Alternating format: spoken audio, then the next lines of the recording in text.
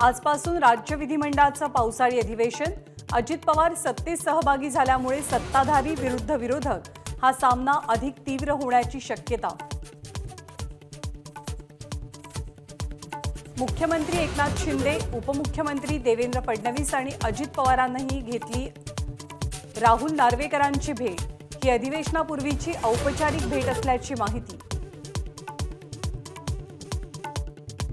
विरोधी पक्षनेतेपदावरती काँग्रेसचा दावा. थोड्याच वेळात काँग्रेसच्या बैठकीत निश्चित होणार विरोधी पक्षनेत्याचं नाव.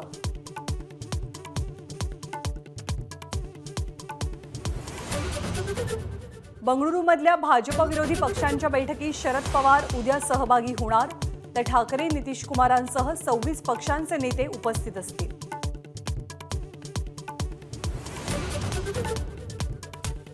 आयकर विवरणपत्र भरण्याची मुदत एकतीस जुलैपर्यंतच यंदा मुदतवाढ मिळणार नाही. केंद्रीय अर्थसचिव संजय मल्होत्रा यांची माहिती.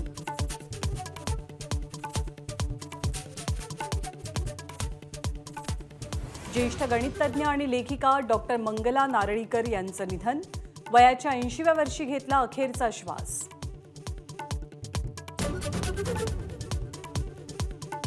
मुंबईसह ठाण्यामध्ये पुढचे तीन दिवस मुसळधार पावसाचा अंदाज तर कोकण किनारपट्टी आणि विदर्भाला अतिमुसळधार पावसाचा इशारा.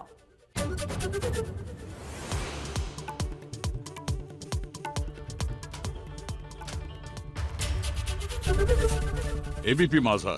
उघडा डोळे बघा नीट.